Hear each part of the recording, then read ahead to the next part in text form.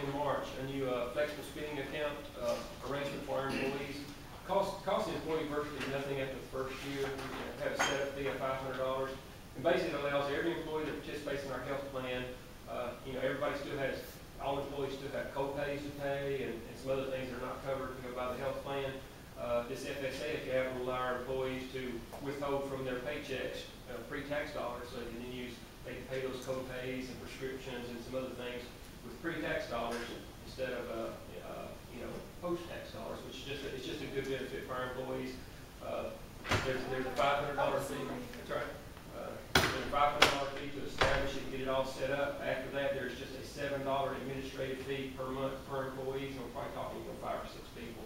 But the good news is that, uh, once they start uh, deducting amounts from their payroll checks, we also don't have to match FICA uh, or Medicare, you know, on those pre-tax benefits. So that kind of pays most of our seven dollars per month for an employee. So once we get it set up, it's, it's a good benefit for the employees at, at virtually, at very little cost to the company. So I just didn't see any sense. Once I found out it was available to us and we could participate in it at, at a very low cost, I thought that's just a great thing for the employees. And, uh, the, uh, and it's well within, it, like I said, five hundred dollar fee is, I just want to let the board, uh, you know, that we've done that.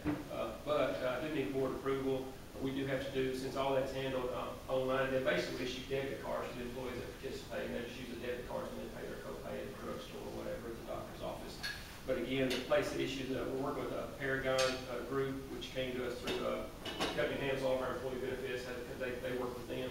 But this is just a banking agreement to allow us to do online internet banking with the Bancorp Bank, which, which issues the debit cards, so we can, we can, you know, establish that fund with an account, we'll probably put a couple thousand dollars into it initially just to have it as a reserve, and then just month to month, we'll move funds into it. As, as, as the deductions come from employees' payroll checks, we'll simply fund it to that account, so again, virtually no cost to the company once it's established. I just need the board to approve of the Bancorp Bank, uh, internet banking enrollment form for the, uh, conference center and tourism authority.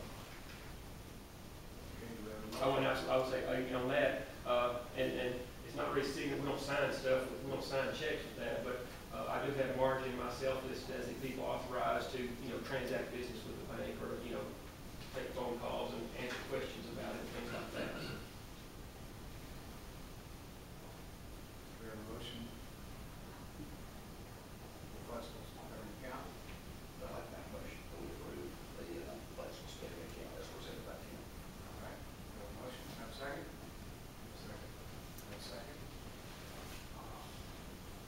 discussion?